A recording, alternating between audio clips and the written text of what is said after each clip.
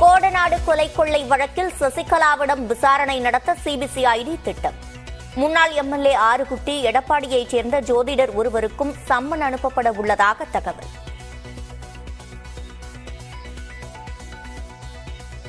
தூத்துக்குடி மாவட்டம் முரப்பநாடு அருகே அலுவலகத்தில் புகுந்து விஏஓ வெட்டி கொலை.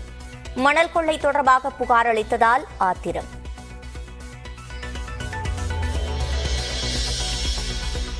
கொலை செய்யப்பட்ட விஏஓ குடும்பத்திற்கு ஒரு கோடி ரூபாய் நிவாரணம். ஒருவருக்கு வேலை அளிக்கப்படும் என முதலமைச்சர் அறிவிப்பு.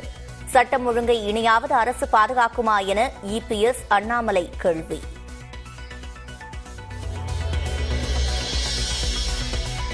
விஏஓ கொலையை கண்டித்து கிராம நிர்வாக அலுவலகங்களில் ஆர்ப்பாட்டம். ஒரு குற்றவாளி கைதான நிலையில் மற்றொருவரை பிடிக்க நான்கு தனிப்படைகள் அமைப்பு.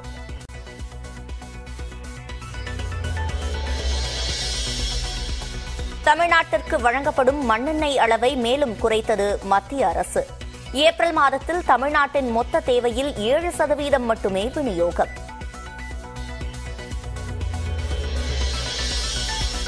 முதலமைச்சர் மு ஸ்டாலின் நாளை டெல்லி பயணம்.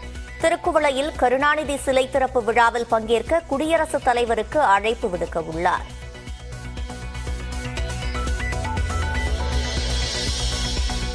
அதிமுக பொதுச் செயலாளரான பிறகு இன்று டெல்லி செல்கிறார் எடப்பாடி பழனிசாமி.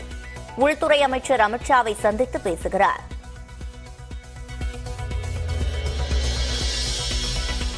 போரால் பாதிக்கப்பட்ட சூடானிலிருந்து ஐநூற்று முப்பத்து நான்கு இந்தியர்கள் மீட்பு. இரண்டு சிறப்பு விமானங்கள் மற்றும் ஒரு கப்பல் மூலம் சவுதி அரேபியா அழைத்துச் செல்லப்பட்டனர்.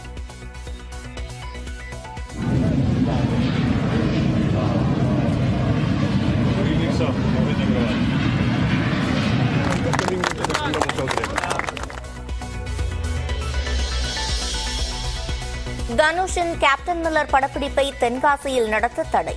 வனத்துறை தீயணைப்புத் துறையிடம் உரிய அனுமதி பெறாததால் மாவட்ட ஆட்சியர் நடவடிக்கை.